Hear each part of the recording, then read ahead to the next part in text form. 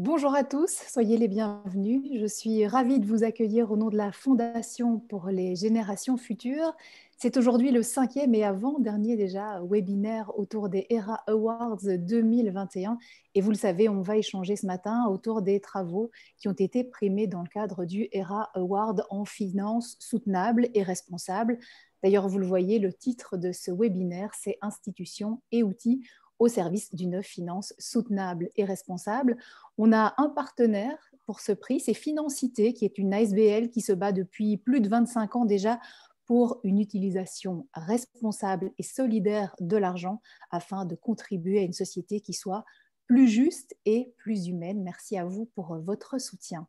Alors tous les jeunes diplômés que vous allez entendre euh, ce matin se sont distingués par euh, leur approche systémique du développement soutenable, ce développement soutenable qui est la raison d'être de la Fondation pour les générations futures. Elle est persuadée qu'on peut offrir encore un monde habitable à nos enfants à condition eh d'adopter systématiquement cette vision, cette démarche à 360 degrés qui inclut quatre dimensions sociale, environnementale, économique et participative. Alors, avant d'entrer dans le vif du sujet, j'ai quelques petites informations techniques pour vous. Je vais demander à toutes les personnes qui n'interviennent pas de bien vouloir couper leur caméra et leur micro. Je pense que ce sera plus simple et euh, plus fluide. Il y a des fonctionnalités qu'on va voir ensemble. Si vous regardez dans le bas de votre écran, vous avez les participants, donc vous pouvez voir qui participe à la réunion, retrouver peut-être quelqu'un que vous connaissez. L'onglet Converser qu'on va utiliser pour tous les échanges, toutes vos questions euh, opprimé. Donc, euh, vous savez, il y, a un, petit moment de questions-réponses après euh, chaque présentation de travail. Vous avez aussi le petit onglet Réaction. Et là, selon la version Zoom que vous utilisez, ben, vous avez plus ou moins d'émoticônes. Si jamais vous avez envie de réagir pendant les présentations, c'est évidemment possible. Je vous conseille aussi de regarder en haut à droite de votre écran, vous avez un affichage intervenant. Ça vous évitera d'avoir en permanence toutes les vignettes avec les noms de tous les participants je pense que ce sera euh, beaucoup plus convivial. Alors, on est ensemble pour découvrir ou redécouvrir trois travaux ce matin. Donc, chaque primé va présenter son travail pendant trois minutes environ. Ensuite, je donnerai la parole à la promotrice ou au promoteur euh, du mémoire et ensuite au président euh, du jury en finance soutenable et responsable, qui est ce matin Luc Van Liedekerk. Voilà, je vous présenterai tout le monde convenablement en temps voulu. Quelques petites infos encore, mais oui, sur ce question-réponse, évidemment. Donc, on va utiliser euh, le petit onglet Converser. Donc, vous le voyez, vous pouvez choisir de parler à tout le monde ou à une personne en particulier. Et évidemment, pour les moments d'échange et de questions-réponses, ben, vous envoyez bien vos questions euh, à tout le monde, comme ça on peut en profiter et c'est moi qui relayerai vos questions euh, auprès des primés. Bon, je pense que pour les questions euh, techniques, vous savez tout. Si vous avez le moindre souci, il y a une assistante qui est à votre disposition. Vous la reconnaissez à son nom, FGF assistante technique. C'est Chloé qui est là pour vous ce matin. Donc s'il y a quoi que ce soit qui ne fonctionne pas de votre côté, ben, n'hésitez pas à lui envoyer un petit message, mais en privé, euh, bien évidemment. Euh, si tout est clair, et je l'espère, on va commencer avec euh, Maximilien Deloa. Bonjour Maximilien. C'est toi qui as l'honneur d'ouvrir le webinaire euh, ce matin. Alors, tu as présenté ton mémoire de master en ingénieur de gestion à la SLM, la Louvain School of Management de l'UC Louvain. C'était en juin 2020. Et son titre, c'est, en français, Comment surmonter les barrières financières à la participation de l'Europe à un réseau électrique mondial et tu travailles actuellement, Maximilien, chez euh, Syndic for You, qui est une start-up qui s'occupe de la gestion d'immeubles en copropriété. Tu as eu comme euh, promotrice Sabine Denis, qui est professeure à la LSM de l'UC Louvain et auteur du livre Value, entreprendre pour la société, profit pour un bien-être durable. Maximilien, c'est à toi. Merci beaucoup Caroline, bonjour à tous et merci pour euh, la petite introduction. Donc j'aimerais commencer par euh, mettre en avant certains problèmes pour l'implantation massive du renouvelable en Belgique. Donc il y a pas mal de, problèmes qui se posent actuellement, notamment le fait qu'il y ait euh, vraiment peu d'endroits encore adéquats qui soient disponibles pour l'implantation du renouvelable. lorsque c'est possible, eh bien, ça demande un usage territorial qui est assez extensif et euh, le fait d'avoir des énergies renouvelables, ce sont des énergies qui sont intermittentes et volatiles et donc qui mettent à mal euh, la stabilité du réseau. Et alors, notamment, le dernier problème, c'est qu'il y a un décalage entre le moment où l'énergie est produite et le moment où l'énergie est consommée. Et donc, il y a un énorme besoin au niveau du stockage euh, d'électricité à ce niveau-là, que ce soit donc euh, le décalage journalier ou le décalage saisonnier. Et donc, face à ces problèmes, il y a un certain nombre d'experts qui ont mis en avant un projet qui est assez ambitieux, qui serait d'avoir un réseau mondial d'électricité, donc qui pourrait répondre à tous ces problèmes, notamment en ayant accès à des zones euh, où les énergies renouvelables sont abondantes et euh, d'avoir donc un plus grand réseau, ce qui permet de résoudre le problème de la stabilité. Et enfin, donc d'avoir également l'électricité qui serait envoyée directement là où elle a besoin d'être consommée en temps réel. Alors, du coup, le but de mon mémoire face à ce, projet assez technique, c'était euh, de trouver les freins au financement d'un tel réseau et aussi donc les solutions pour résoudre ces freins. Et du coup, j'ai eu un, focus qui était plutôt axé sur l'Europe parce que l'Europe, c'est un point de départ stratégique pour, euh, pour ce projet-là, dans le sens où l'Europe est déjà fortement interconnectée euh, au niveau du réseau électrique et aussi dans le sens euh, du Green Deal européen, donc, qui est un petit peu le, cadre dans lequel ce projet pourrait aussi s'implémenter. et du coup, au niveau de ma méthodologie, eh j'ai fait une, recherche de littérature pour voir un petit peu ce qui avait déjà été euh, étudié euh, à ce niveau-là.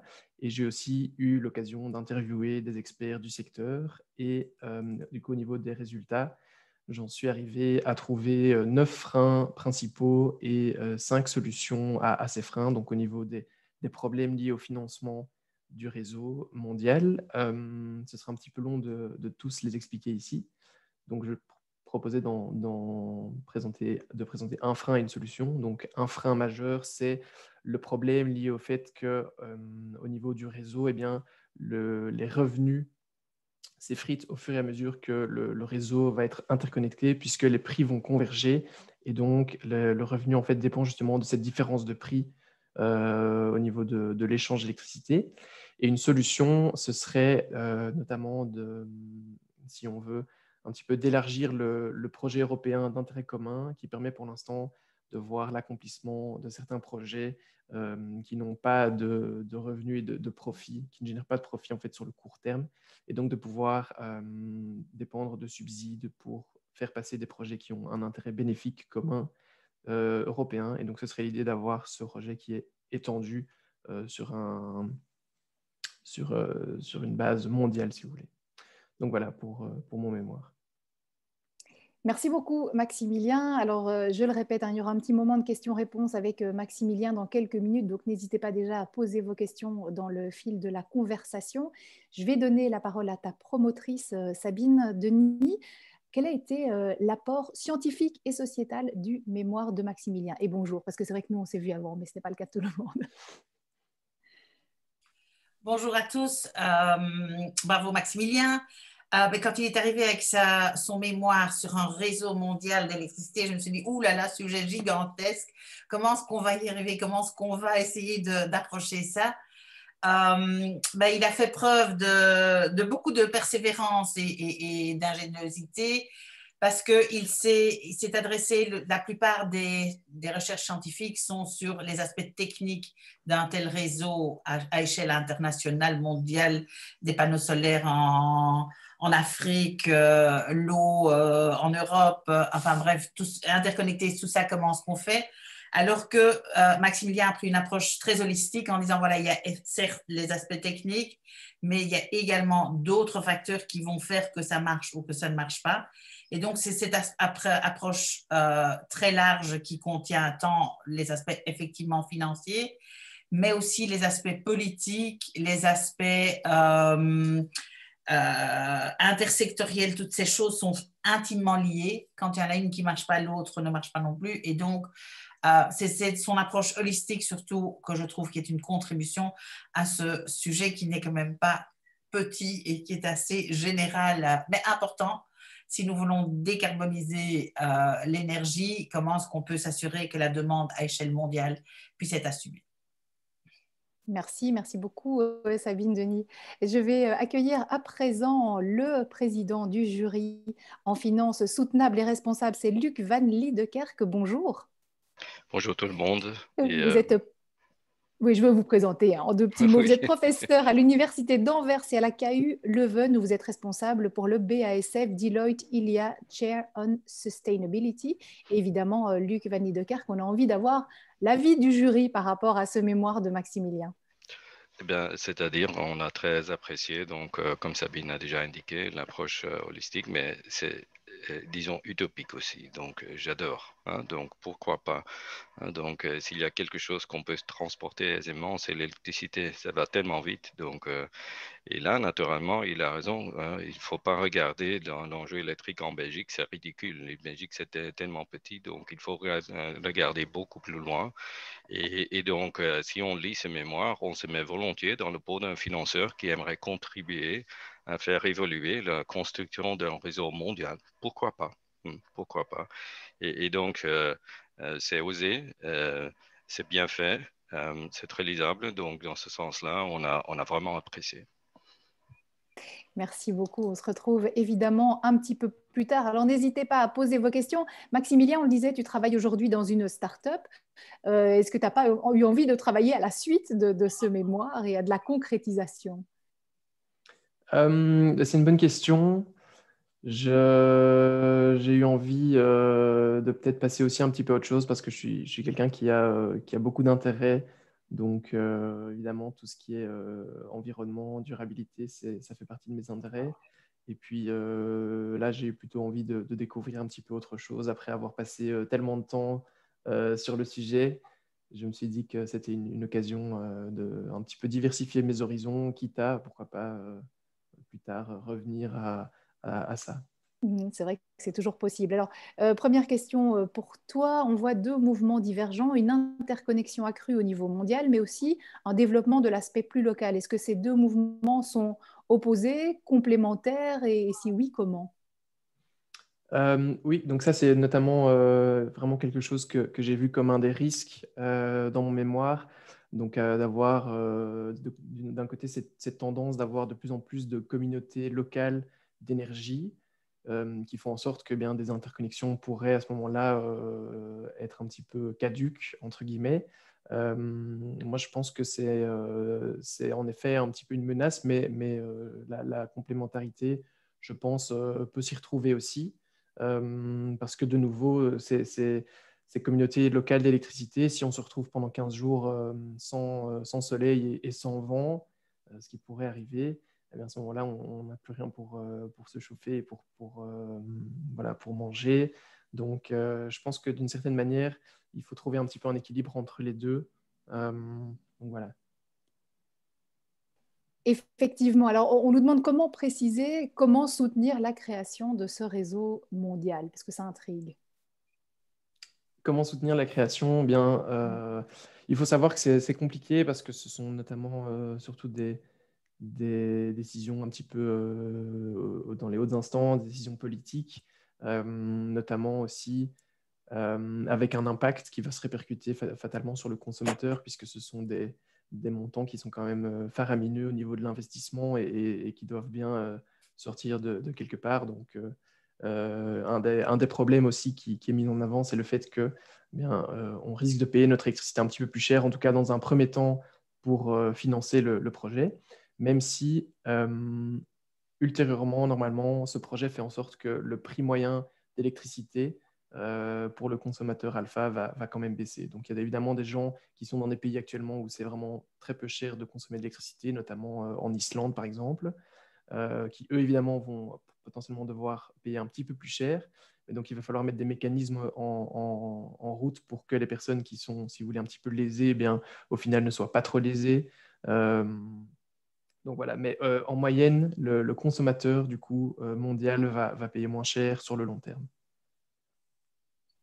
Encore une question qui arrive et comment éviter que les investisseurs se considèrent comme étant bénéficiaires privilégiés? Euh, donc ça, je ne suis pas sûr d'avoir compris la question, mais notamment, une idée, c'était justement de, faire en sorte que les personnes qui vont bénéficier d'une interconnexion, notamment un pays qui est pour le moment assez fortement isolé euh, au niveau de, de l'approvisionnement en électricité, euh, avec du coup des, monopoles au niveau de, des fournisseurs d'électricité sur place, eh bien, le fait d'avoir une interconnexion avec des autres pays va permettre d'avoir de l'importation d'électricité moins chère. Et donc, on peut justement faire en sorte que ce sont ces personnes-là qui vont en bénéficier, qui puissent contribuer à, plus grande échelle. C'est notamment aussi une des solutions que, que j'avais trouvées euh, dans mon mémoire. Mmh. Alors, est-ce qu'il y a des projets en cours, un ou des projets en cours pour améliorer l'interconnexion des réseaux au niveau européen? N'est-ce pas la condition indispensable pour se tourner de manière structurelle vers les énergies renouvelables? C'est ça. Donc, en fait, euh, il faut vraiment qu'au niveau européen et au niveau des autres régions, que le réseau soit déjà fortement interconnecté, sans quoi le fait de, relier euh, aux autres continents n'aurait pas beaucoup de sens parce qu'on ne saurait pas vraiment pleinement en apprécier les, les, points positifs et, les avantages. Et du coup, euh, un des projets qui, est pour l'instant mis en avant au, niveau euh, européen, c'est justement ce, mécanisme des, projets d'intérêt commun, donc qui identifie toute une série de, projets qui sont compliqués à financer pour l'instant au vu des bénéfices qui sont un petit peu euh, voilà qui sont qui sont compliqués parce que les, bénéfices sont pas énormes au niveau de, de, l'échange d'électricité alors que les risques sont énormes et les investissements aussi. Et donc c'est justement d'avoir des subsides qui sont mis en place pour les projets qui sont identifiés comme vraiment ayant un intérêt commun au niveau européen. C'est-à-dire pas uniquement euh, entre pour un seul pays mais pour au moins les deux pays qui sont reliés et aussi les pays euh, avoisinants alors une petite pensée, peut-être qu'on en terminera avec ça, on verra si d'autres questions arrivent. Euh, ce qui est commun à l'absence d'une politique climatique internationale ambitieuse, à l'existence d'un grand nombre de paradis fiscaux, à l'inexistence d'un réseau mondial d'électricité, c'est certainement l'absence d'une réelle gouvernance mondiale, un sujet encore plus utopique, mais sans doute encore plus utile au développement durable de l'humanité. Je sais pas si une réflexion à faire par rapport à ça.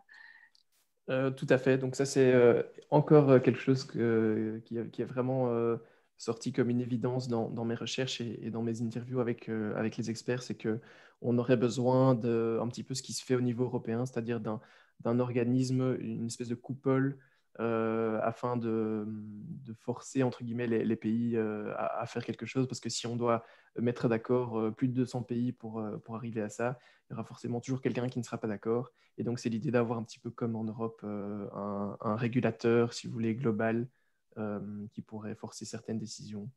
Donc euh, voilà, je suis tout à fait d'accord avec, euh, avec la dernière réflexion ici qui vient d'être faite. Mhm. alors, ben, il y a encore des questions. Est-ce qu'il ne faut pas en même temps revoir notre consommation? C'est un vaste chantier, nous dit-on. Oui, oui, tout à fait. Je pense qu'au niveau de, de, tout ce qui, qui, se dit pour l'instant au niveau de l'électricité, c'est que, et au niveau de l'énergie de manière plus globale, c'est que ben, c'est très bien de, de, voir toute une série de, de mesures pour pour aider à l'approvisionnement. Mais il y a tout l'autre côté, donc euh, l'aspect de, de, l'utilisation de la consommation et donc de la demande d'électricité et d'énergie qui doit également être, euh, être traité.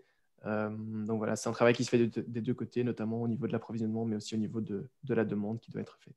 Mmh. Et, est-ce que la particularité de la Belgique, avec ses gouvernants à différents niveaux, ne serait pas le grand frein justement à, à ces projets de bien commun euh, ben, je pense qu'en Belgique, le, travail euh, qui est fait par, euh, par Elia notamment est, un travail qui, est remarquable et qui ne, subit, je pense, pas du tout de, la gouvernance au niveau des, des, communautés, des régions qui, qui, peut être faite. Je pense que pour l'instant, tout se fait de manière fédérale et, que tout est, très bien fait. donc, a priori, je ne pense pas que ça pose problème. Ok, bon, mais merci euh, Maximilien, merci beaucoup. Merci, beaucoup Caroline. aussi euh, à Sabine Denis et Luc Van Liederkerk, qu'on se retrouve évidemment dans quelques minutes. On va, on va poursuivre évidemment avec Théo de Scuter. Bonjour Théo. Bonjour. Ah voilà, tu es bien parmi nous. Tu es le lauréat de cette catégorie. Euh, tu as présenté ton mémoire de master en ingénieur de gestion à la Solvay Brussels School de l'ULB et il s'intitule en français Vidanger l'eau de la cale, le rôle de la supervision de la BCE dans la transition climatique européenne. Aujourd'hui, tu vas rejoindre en juillet l'UNEP, qui est le programme des Nations Unies pour l'environnement. Belle continuité à ce travail. Euh, tu as eu comme promoteur Marek Hudon, qui est professeur à la Solvay Brussels School de l'ULB, où il dirige des recherches liées aux problématiques éthiques et de gestion des entreprises sociales, ainsi que sur le développement euh, durable. Théo, c'est à toi. Euh, bonjour à tous. Ben, merci pour l'introduction et, et, je voulais d'abord remercier toutes les personnes de, euh, ERA, euh, la Fondation pour les générations futures, euh, pour le temps qu'ils ont accordé à, mettre en valeur mon mémoire. C'est vraiment super, super gratifiant. Voilà. donc, moi, je m'appelle Théo. J'ai, comme, comme vous avez dit, eu mon diplôme à Solvay l'année passée. j'ai eu mon premier stage auprès d'une ONG qui s'appelle Finance Watch et qui travaille auprès de la Commission européenne. Et au cours de ce stage, j'ai vraiment une passion pour la Banque Centrale Européenne, la BCE, qui est, comme son nom l'indique, l'institution au centre du système financier en Europe. Euh, la mission de la BCE qui est, euh, hyper puissante, euh, et c'est ça qui me passionnait, c'est d'assurer la stabilité financière pour assurer la prospérité économique et le plein emploi. elle va le faire à travers deux fonctions. La fonction monétaire qui est de gérer la quantité de monnaie dans l'économie pour assurer une stabilité des prix, et une fonction qu'on dit prudentielle où elle va superviser les banques de très près pour assurer qu'elles sont saines de manière individuelle et de manière agrégée. Euh, quand on parle de lutte contre le changement climatique euh, et qu'on regarde la littérature, il y a énormément de littérature sur euh, ce côté monétaire, sur la, quantité de monnaie, la gestion de la quantité de monnaie, mais beaucoup moins autour de cette fonction de superviseur. pour moi, il y a une grande et une petite raison à ça.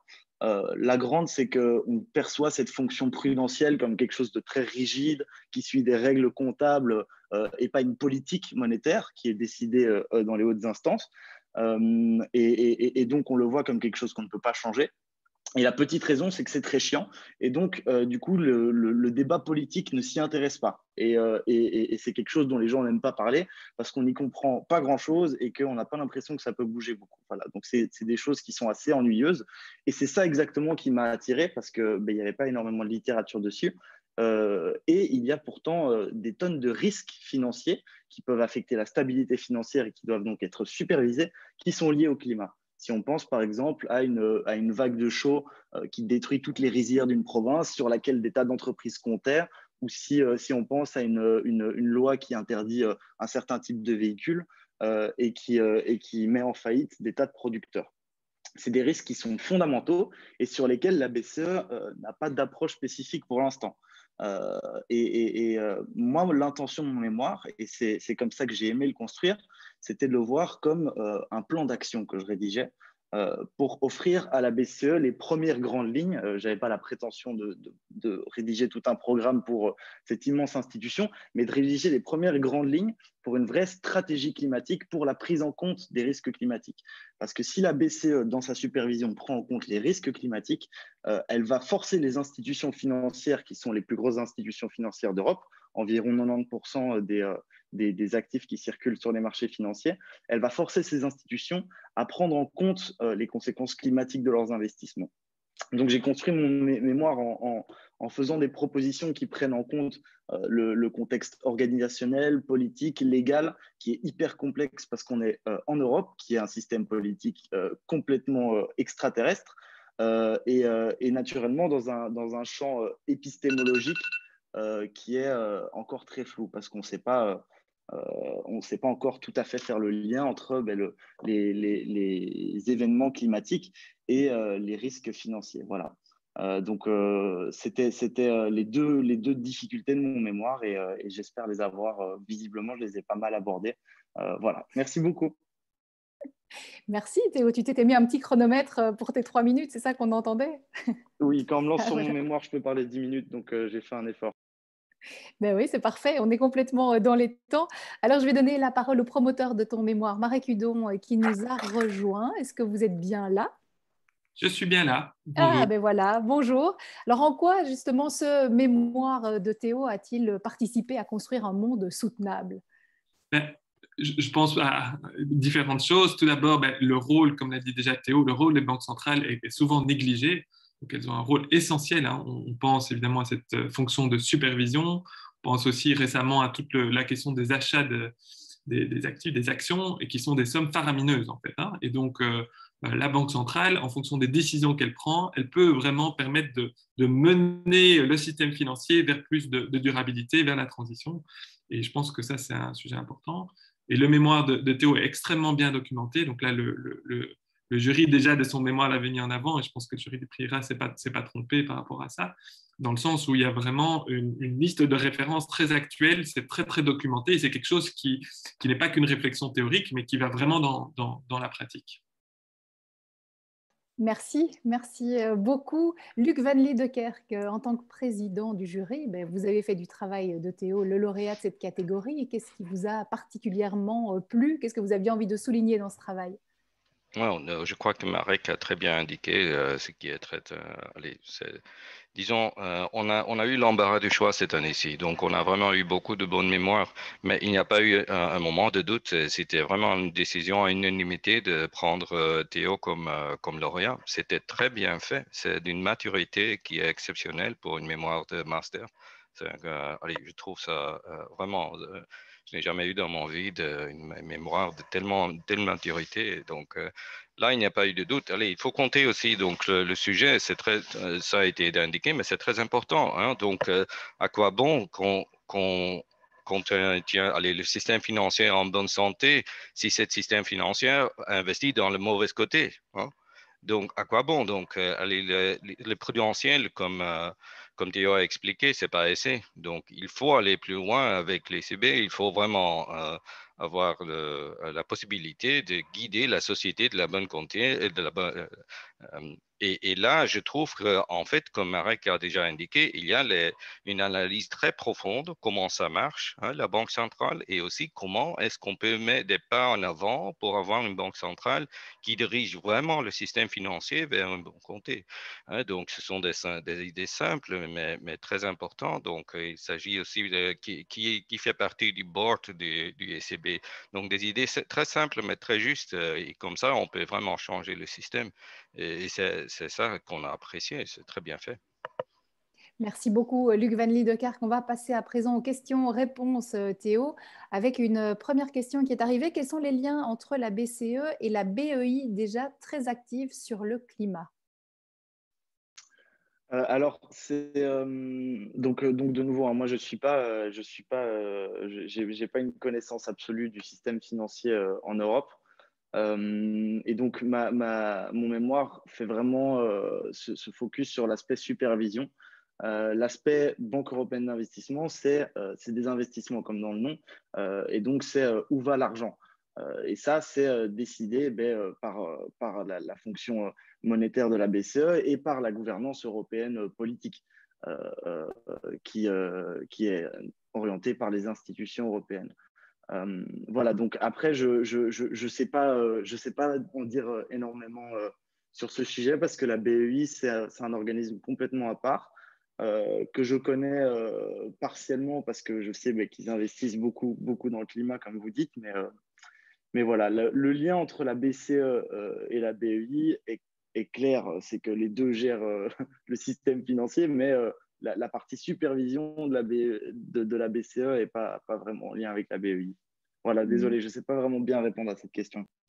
Bon, mais tout va bien. Bravo pour ce mémoire. Et l'approche suivie, nous dit Thomas Van Kraan, question, approcher le changement climatique uniquement par la perspective de risque qu'il amène, est-ce que cela ne fait pas perdre de vue l'essentiel, c'est-à-dire la remise en question du modèle économique actuel et la nécessité d'une nouvelle définition de développement économique?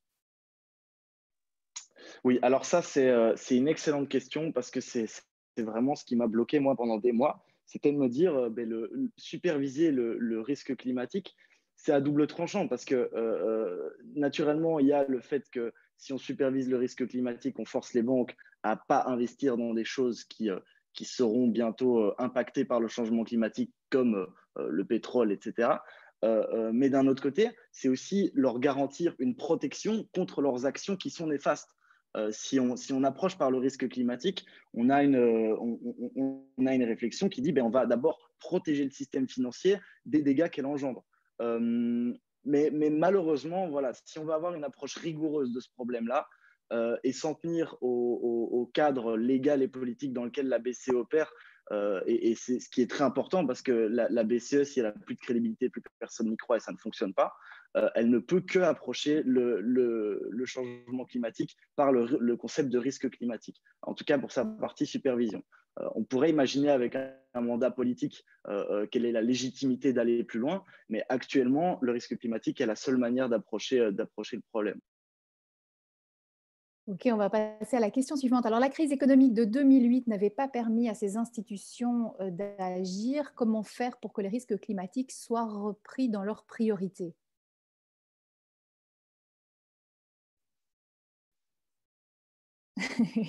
tu, relis la question avec moi. Oui, la crise économique donc, de 2008 n'avait pas permis à ces institutions d'agir alors que dans leur core business, euh, voilà, j'avoue que c'est pas super clair pour moi non plus. Je ne sais pas si tu vois euh, comment y répondre ou si la personne qui a posé la question peut être un peu plus précise éventuellement. Non, alors moi, moi ce que, ce que j'aimerais dire, euh, j'ai un peu profité de la question pour, pour peut-être parler d'autre chose, mais la, la, crise de 2008 a eu un impact très important sur la supervision européenne parce qu'elle a ben, mené à la crise de la dette souveraine et elle a donné à la BCE cette, euh, ce pouvoir de supervision sur l'entièreté du système financier européen. C'était une fonction qu'elle n'avait pas du tout avant, qui était assurée au niveau national avant. Et, euh, et en fait, c'est un côté très positif. De un, parce que c'est plus sûr, parce qu'il y a beaucoup de superviseurs nationaux qui étaient incapables de gérer les monstres nationaux qui existaient sur, euh, dans leur pays. Et, et du coup, ça permet ben, d'avoir une approche européenne du sujet du changement climatique qui est directement fait à, à, partir de la BCE, sans que ce soit au niveau national. Et deuxièmement, euh, ça rend aussi la BCE garante des avancées euh, nationales sur le changement climatique. Ça veut dire qu'une fois qu'un pays décide que sa banque va euh, obéir à des exigences climatiques, la BCE va devenir défenseur de ces avancées et donc permettre au pays d'être, de prendre des mesures efficaces et crédibles parce qu'elles seront soutenues par un superviseur de poids tu, le disais tout à l'heure, hein, que tu as voulu établir une espèce de plan d'action euh, pour la BCE. Est-ce que tu as eu l'occasion de soumettre ton mémoire, tes idées? Est-ce qu'il y a eu des échanges entre toi et la BCE, justement? Alors, j'ai passé un entretien d'embauche à la BCE. Euh, d'ailleurs, euh, Monsieur Hudon m'a très gentiment écrit une lettre. Le truc, c'est que, bon, c'est peut-être un peu prétentieux de ma part, mais, mais la BCE, c'est des technocrates avant tout. Euh, c'est des gens qui euh, sont très forts en comptabilité, sont très forts en finance. Euh, et, moi, naturellement, j'étais passionné par l'institution dans sa globalité, mais je me suis rendu compte très vite au cours du processus que j'allais être derrière un ordinateur, consulter des comptes, et que ben, en tant que stagiaire déjà, j'aurais aucun pouvoir décisionnel, et même en tant que manager, c'est des gens qui obéissent aux ordres et, suivent des règles comptables très strictes. D'ailleurs, dans mon mémoire, je, montre que ben, c'est un certain nombre d'individus qui peut être plus exigeant sur certaines normes, faire attention à, plus de risques climatiques, mais avec des outils qui doivent rester crédibles. Euh, parce que c'est ça la garantie de, ces avancées, c'est que ça doit rester crédible. Voilà. Donc euh, le, problème de la BCE, c'est que c'est très technocratique et que c'est pas c'est pas une institution où les gens sont engagés. C'est une institution où les gens sont engagés pour faire leur travail euh, de manière Mmh bah, alors euh, justement, hein, quand on, sait que tu as eu un entretien d'embauche, tu viens de le dire, est-ce qu'ils ont pu voir ce que, ce que tu avais rédigé comme travail? Et puis cette question est que va faire la, BCE de vos recherches, si elle les a reçues évidemment? Alors, je crois que, je, crois que euh, ce serait vraiment très prétentieux de, penser que la BCE va utiliser euh, mon mémoire comme, comme, comme base parce que parce que c'est un plan qui effectivement est intéressant, mais, euh, mais qui n'est pas, euh, pas un plan qu'il euh, pourrait suivre à la lettre, parce que la, la, politique de la BCE est, est, est, plus une histoire de négociation entre gouverneurs de banques centrales qui défendent un peu leurs intérêts nationaux, qui défendent une vision économique, parce que c'est souvent des professeurs d'économie. c'est issu d'un débat. Euh, donc, euh, donc je, crois que dans un débat entre, entre des personnes euh, aussi haut placées, le, mémoire d'un étudiant comme moi n'aurait pas beaucoup d'impact. C'est 3500 personnes, mais, mais c'est à mon avis des, personnes qui devraient faire plus attention à ce que la société civile et les étudiants proposent naturellement.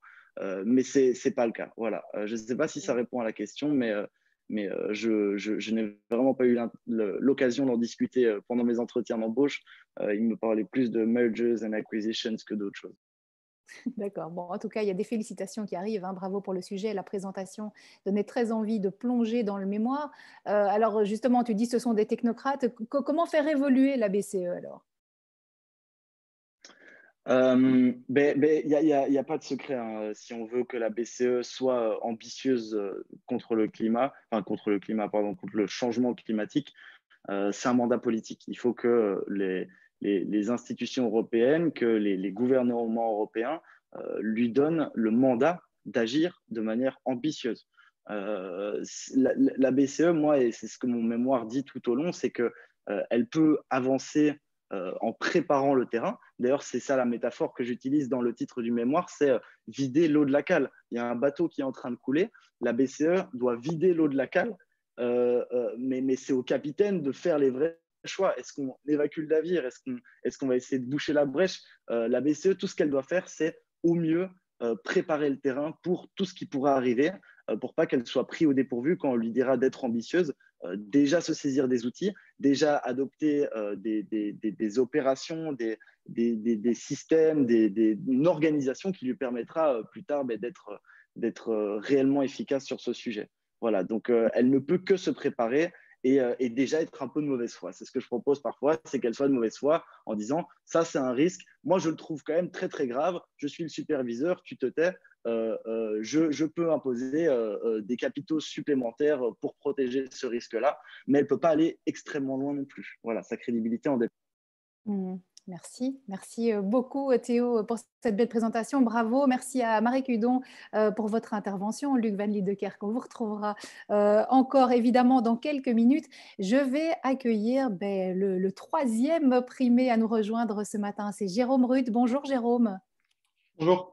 Voilà, tu as présenté un mémoire de master en ingénieur de gestion à HEC Liège. Son titre, traduit là encore, Fiabilité des notations ESG, une évaluation qualitative et quantitative. Actuellement, ben, tu réalises un doctorat, toujours à HEC Liège, et tu as eu comme promotrice Marie Lambert, qui est vice-doyenne à la recherche à HEC Liège, où elle enseigne la finance. Elle est également professeure et chercheuse affiliée à l'Université de Paris-Dauphine et à l'EDEC Business School en France toujours. Ses recherches portent sur l'analyse financière et la gestion d'entreprises. On la retrouve dans quelques minutes, mais dans l'immédiat, Jérôme, c'est à toi. Merci. Bonjour à tous. Lorsqu'on évoque les marchés financiers, les images qui nous viennent en tête sont des salles remplies de traders, des cours boursiers qui augmentent comme celui du Bitcoin ou encore de potentiels hauts retours sur investissement. Néanmoins, on pourrait avoir une image plus verte de la finance. En effet, de plus en plus d'investisseurs intègrent des aspects durables à leurs décisions d'investissement. Une question légitime qui en découle est comment intégrer ces facteurs aux décisions d'investissement. En fait, les investisseurs peuvent utiliser des notations ESG pour filtrer leur univers d'investissement. Ces notations ESG, qui peuvent être des scores entre 0 et 100, permettent d'identifier les bons et les mauvais élèves en matière de pratique environnementale, sociale et de gouvernance. Les décisions d'investissement sont donc la combinaison d'une loupe pour les critères financiers et d'une loupe pour les critères durables. Dans le cadre de mon mémoire, je me suis intéressé aux notations ESG et en particulier à deux problèmes. Le premier problème est le manque de convergence entre ces agences de notation. En effet, une même entreprise peut recevoir deux notes, une bonne, une mauvaise, de la part de deux agences. Ceci questionne donc la qualité des informations fournies. Les analyses qualitatives conduites ont montré qu'il était important que les investisseurs sélectionnent l'agence qui est le plus en phase avec ses préférences ou durables.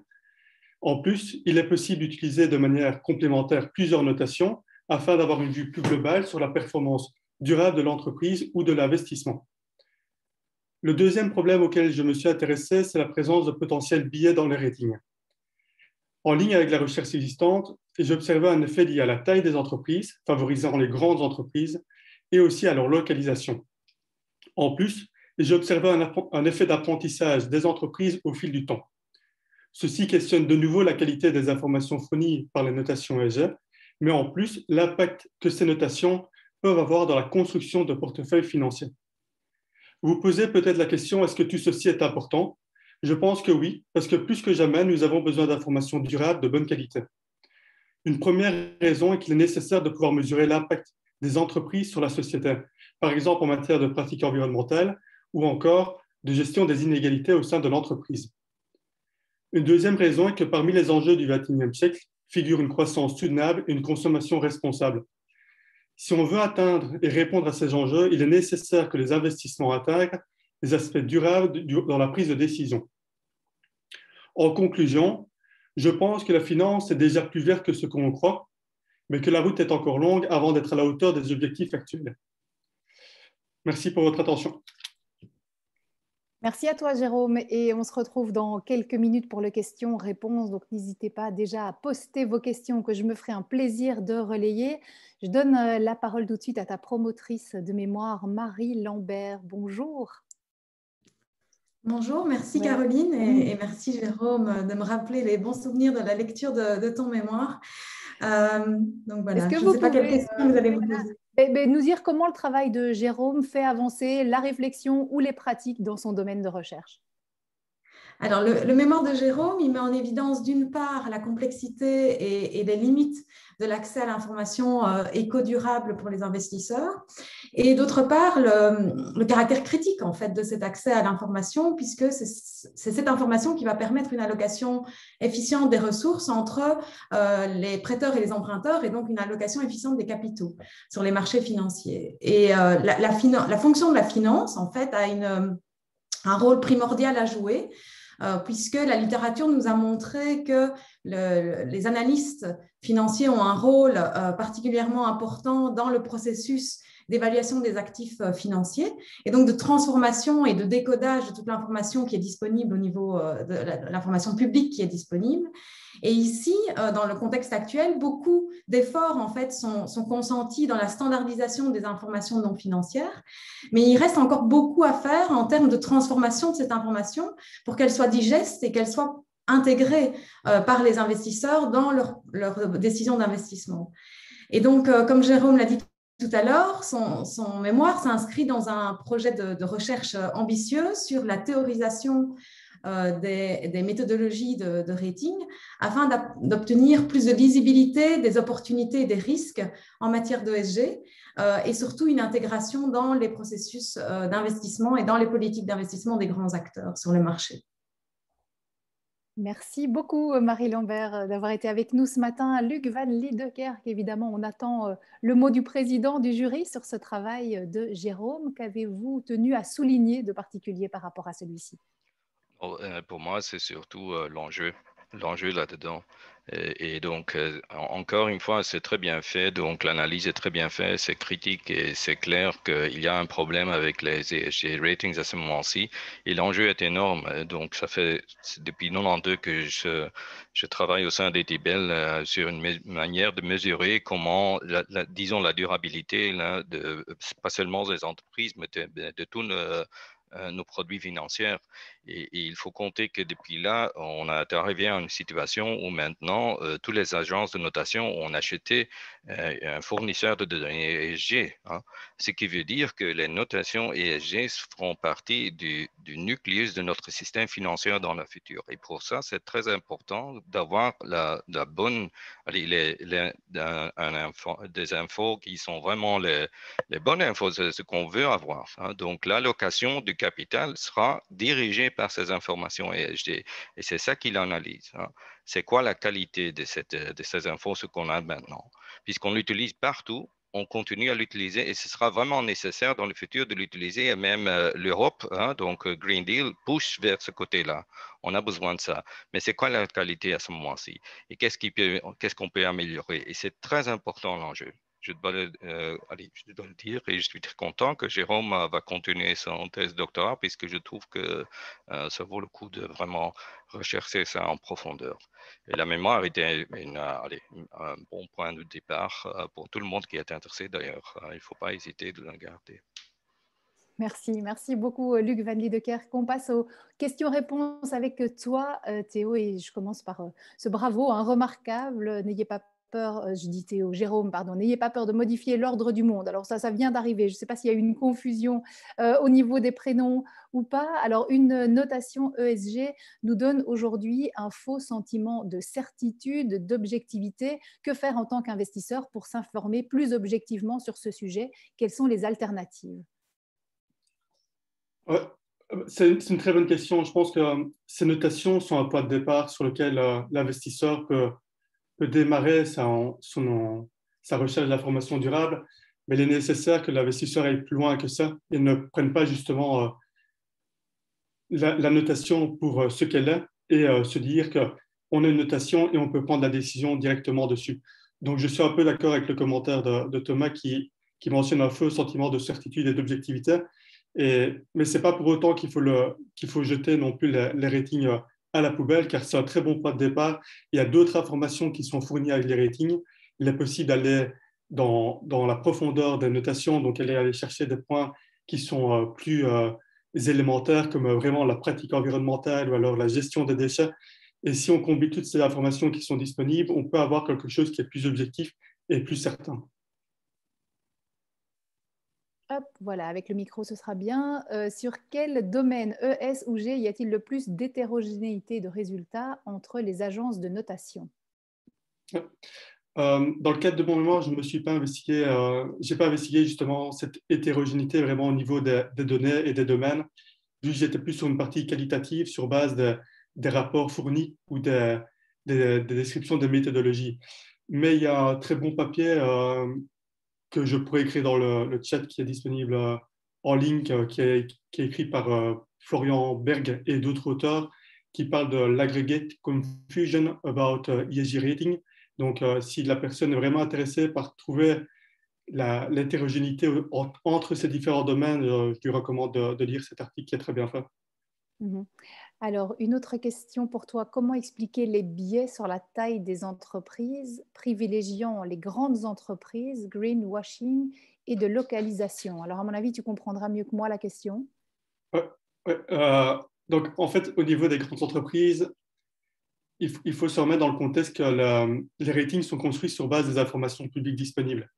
Une grande entreprise aura plus de ressources et donc pourra donner plus d'informations pour construire ses ratings. Donc, il est possible que sur base d'informations plus complètes et plus d'informations disponibles, le rating soit meilleur. Donc, est-ce que c'est réellement du greenwashing ou pas? Ça, c'est une autre question. Et euh, ce n'est pas dans le cadre de mon mémoire qu'on pourrait euh, y répondre. Ça va, ça va bien au-delà. Et par rapport à la localisation, c'est un peu dans la même idée, c'est que certains pays sont plus avancés que d'autres en matière de reporting, donc euh, de, de, je, n'ai plus le mot en tête en français, mais de, de report d'informations euh, durables et donc vont pouvoir peut-être obtenir des meilleurs euh, scores grâce à ça, ou même en général par les, dû aux pratiques ou des consciences durables de, de, la société euh, en général. Un pays peut être déjà plus développé dans son chemin durable et du coup pousser les entreprises à intégrer ces facteurs, ce qui rend un rating plus élevé. Mhm. Alors, les travaux en cours sur la taxonomie européenne vont-ils enfin mettre un peu d'ordre dans tous ces systèmes de notation ESG C'est fort compliqué parce que la taxonomie, si je ne me trompe, ne, porte surtout sur euh, l'aspect investissement, mais pas encore sur les notations ESG.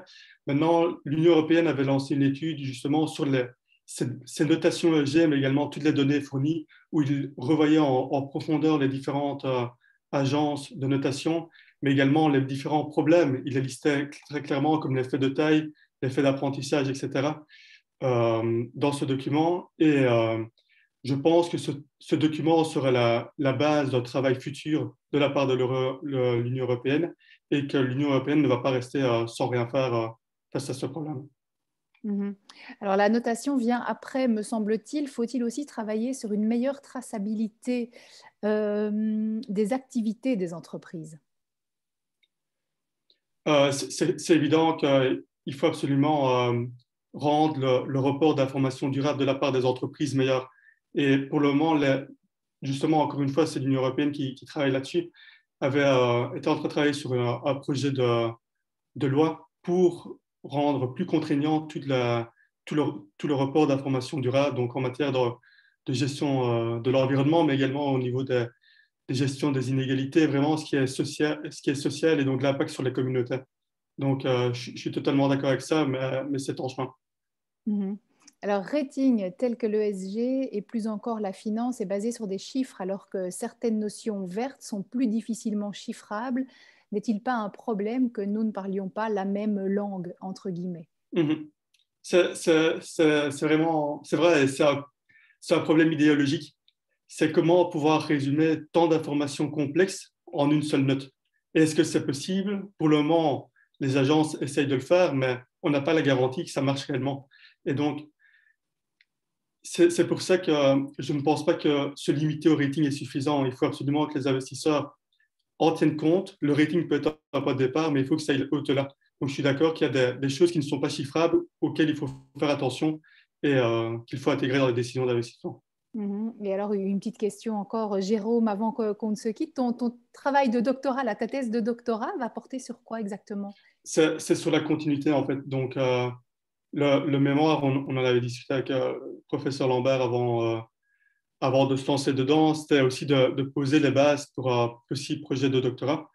Et du coup, dans ce doctorat, pour le moment, on, fait une revue euh, des différentes agences de notation et vraiment essayer de bien comprendre comment ces, notations sont construites.